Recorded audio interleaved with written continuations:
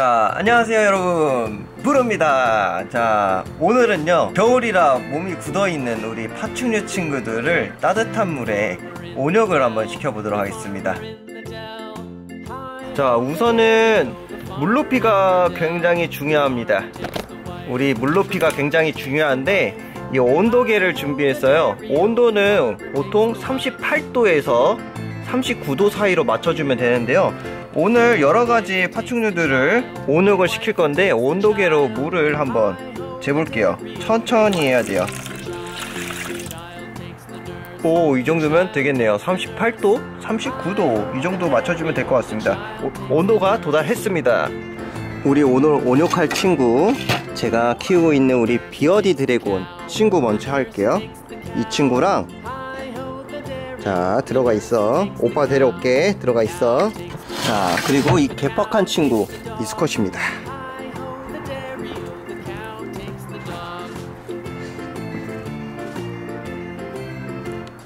호호 야야야 나 또 가만히 있어. 야하 좋아. 자 지금 온도가요 온도가 36도로 떨어졌네요. 36도로 떨어졌는데 뜨거운 물을 조금 더 조금 더 투입을 하겠습니다. 와, 색깔 되게 이뻐지었습니다. 자, 자 이렇게 온욕을 하면요 애들이 굉장히 좋아해요. 잠도 자고요. 그리고 몸에 수분이 들어오기 때문에 물도 마십니다. 자 아이고 이쁘라. 자 이거 보세요. 우리 귀여운 아기가 잠을 자고 있습니다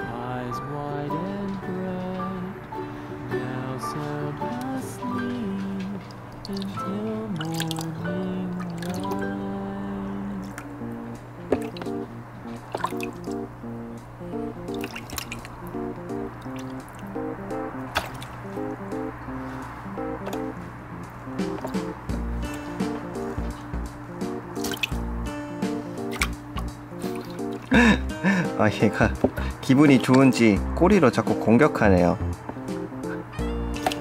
아야야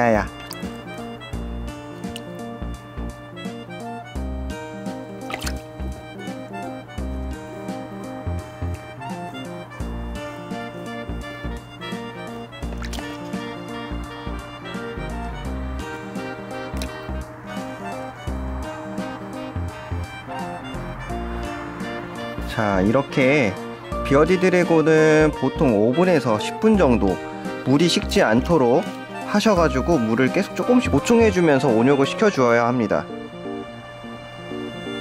자 온도가 35도까지 떨어졌네요. 네 온도가 많이 떨어지면은 이 친, 친구들이 오히려 역으로 감기가 걸릴 수 있기 때문에 여러분들 30도 이하가 떨어질 때까지는 하시면 안 됩니다 왜 그러지 얘? 자 이거 보세요. 비어디 드래곤 친구들이 굉장히 깨끗한 줄 알았는데 와, 이게 물이 꾸중물이 올라오는 게 와하 찌꺼기가 막 올라오고 있어요. 자 우리 제가 제일 아끼는 제가 제일 아끼는 친구예요. 처음에 눈병 걸렸을 때 왔는데 눈병도 치료가 잘 되고 색깔도 불, 불그스름한 게 진짜 이쁘게 잘 지내고 있습니다 자 이렇게 비어디 드래곤은 우선 이렇게 마치고 육지 거북이들 우리 육지 거북이들 온욕 한번 시켜보도록 하겠습니다. 그 다음으로는 육지 거북이입니다. 육지 거북이도 똑같이 온도 체크를 꼭 해주셔야 해요. 온도는 38도에서 39도 정도가 적당하겠네요. 근데 손으로 만졌을 때 미지근하다 약간 미지근하다 정도 느낌으로 따뜻하다? 약간 그 정도로 해주시면 됩니다. 뜨겁다라는 느낌으로 넣으시면 안 돼요. 자 제가 준비를 해온 우리 그리스 육지 거북이들. 자 굉장히 잘생겼습니다. 등무늬도 굉장히 이쁘고요. 자 물의 높이는 친구가 다리 정도 잠길 정도만 해주시면 돼요. 자 그리스 한 마리 자 그리고 다른 그리스. 또 그리스 문양이 다르죠? 그리스가 문양이 다릅니다. 자 그 다음에 레오파드 육지 거북이 자. 자 이런 식으로 단순하게 따뜻한 물에 이렇게 다리만 잠기도록 넣어 놓으면 되는데요.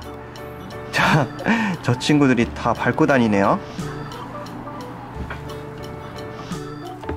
여기서 되게 조심해야 될 게 여기서 굉장히 조심해야 될 게 무엇이냐면 육지 거북이들이 수영을 잘 못합니다. 하기도 하는데 수영을 잘 못해요.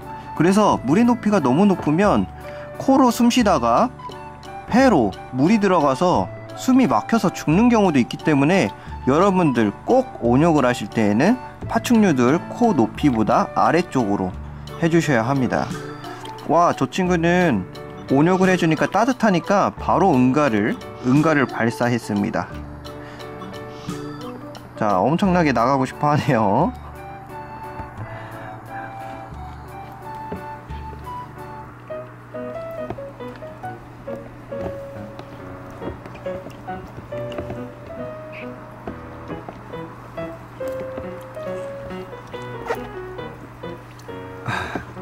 레오파츠 친구들이 진짜 가만히 있질 못하네요.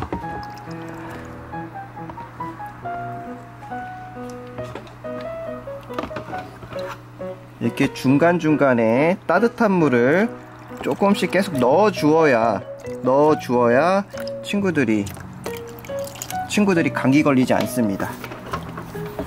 그리고 마지막에는 부을기가 없도록 수건이나 휴지, 휴지나 수건으로 물기를 싹 닦아주신 후에 사육장에 투입을 해주세요. 사실 자연에서는 온욕을 잘 하지 않기 때문에 굳이 안 해도 되지만 아픈 개체들을 위해서 눈을 씻겨주거나 몸에 있는 신진대사를 활발하게 하기 위해서 온욕을 시켜주는 것입니다. 대략적으로 5분에서 10분 정도만 해주면 됩니다. 와 레오파드 친구들이 장난 아니네요. 자 어느 정도 온역을 했기 때문에 저는 휴지로 물기를 닦아 주겠습니다.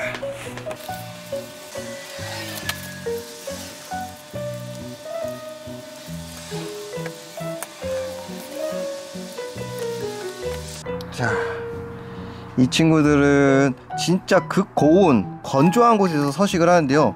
와, 아까 보셨죠? 잘, 잘 보세요.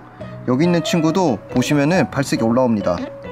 자, 물을 뿌리면은 색깔이 변해요. 짜잔. 야, 밟아봐. 와, 색깔이 올라오는 거 보이세요? 자, 친구들도 온욕을 굉장히 좋아합니다. 사실 유로메스틱스는 물그릇이나 이런 게 사실 필요가 없어요. 야채에서 섭식을 다 하지만 온욕을 해주면 가끔 물도 먹고요.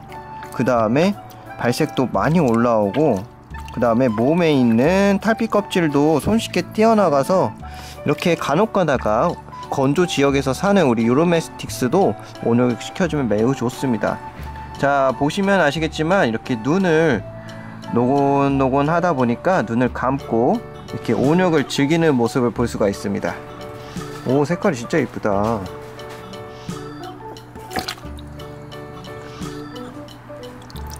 오 이 친구는 약간 주황색이네요. 야 안녕. 기분이 좋은가 봐요. 이제 눈을 감고 자겠죠? 파충류를 기르면서 이런 맛에 기르지 않나 싶어요. 굉장히 귀여워요. 이 친구도 아까 빨리 빨리 움직이던 친구인데 막상 오니까 얌전해졌네요.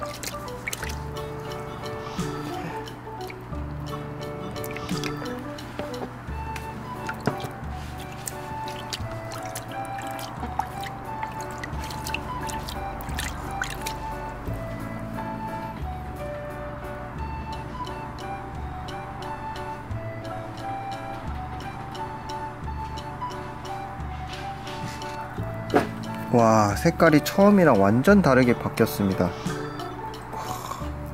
온욕을 시켜주니까 진짜 이렇게 발색이 올라오죠? 얘는 약간 붉은 색깔 색깔이 있네.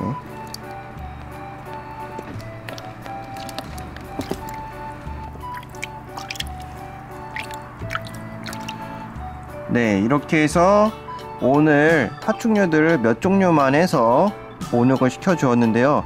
여러분들 제일 중요한 온욕 물 높이를 그리고 온도 중요시 여겨서 그것만 잘 체크하셔서 온욕을 시켜 주시면 파충류들 굉장히 건강하게 잘 자랄 겁니다. 근데 온욕을 시켜서 안 되는 종류도 있죠. 바로 leopard gecko나 뭐 crested gecko 아니면 뭐 개구리과인 양서류과 이 친구들 Pacman 이런 거 절대 온욕시키시면 안 됩니다. 온욕을 시키시기 전에 시켜도 되는지 안 되는지 여러 지인들한테 여쭤보시거나 인터넷 검색을 하셔서 온욕을 시켜보시면 좋겠네요. 자, 오늘은 여기까지 영상을 마무리하도록 할게요. 다음에 봐요. 안녕. 요시.